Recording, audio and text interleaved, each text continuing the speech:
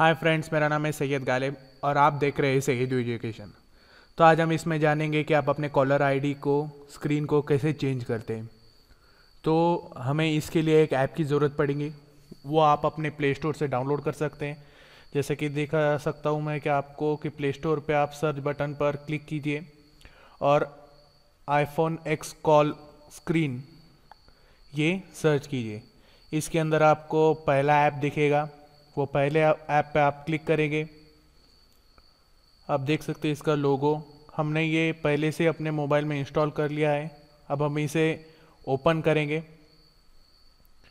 जैसा कि देख सकते हैं आप, ये ओपन हो रहा है कॉलर डॉट लाइव इसके बाद हम गेट स्टार्टेड बटन पर क्लिक करेंगे। कुछ इस तरह हमें इंटरफेस दिखाई देता है। इसके बाद हमें कुछ यहाँ परमिशन देनी पड़ती है। वो परमिशन आप दीजिए। गो टू ग्रांड बटन पर क्लिक कीजिए। अलाउ बटन पर इसके बाद क्लिक कीजिए। अलाउ परमिशन को ओके okay क्लिक कीजिए।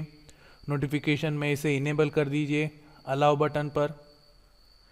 इसके बाद आप देख सकते हैं ऐड है इसे क्लोज कर दीजिए।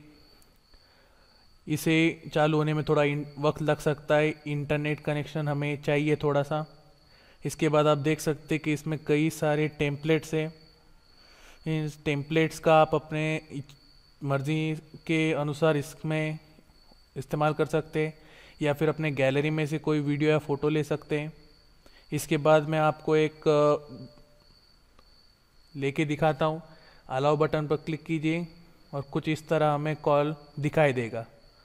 इसकी ब्राइटनेस हम बढ़ा देते अब इसे अप्लाई करने के लिए हम अप्लाई बटन पर क्लिक करेंगे। इसके बाद फॉर ऑल इनकम कॉल्स पर क्लिक करेंगे। डाउनलोडिंग में थोड़ा समय ले सकता है। इंटरनेट स्पीड के मुताबिक डाउनलोड कंप्लीट हो चुका है। इससे हम क्लोज करेंगे। हम अब बैक ले लेंगे।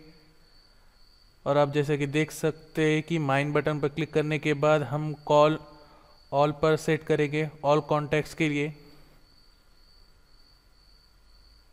अब हम बैक लेंगे। और कोई दूसरे मोबाइल से या फ़ोन से इस नंबर पर हम कॉल करेंगे और देखेंगे कि किस तरह इसमें कॉलर स्क्रीन चेंज होती है। तो जैसा कि आप देख सकते हैं, हमने कॉल लगाया है तो इस तरह से हमें कॉलर स्क्रीन दिखाई देती है। इसे कॉलर को रिसीव करने के लिए हमें स्वाइप दिया जाता है। हम स्वाइप करेंगे तो हमारा कॉल कनेक्ट हो चुका है। हम इससे दूसरे फ़ोन से बातें कर सकते हैं। इसका इंटरफेस कुछ इस प्रकार दिखाई देता है। स्पीकर कीबोर्ड इस तरह हमें दिखाई देता है। हम इसे क्लोज कर कर बंद कर देंगे और इस तरह आप अपने मोबाइल को ज़्यादा अट्रैक्टिव तरीके से दिखा सकते हैं। तो आज की वीडियो में इतना ही। लाइक कीजिए कमेंट कीजिए और हमारे चैनल को सब्सक्राइब कीजिए। Thank you for watching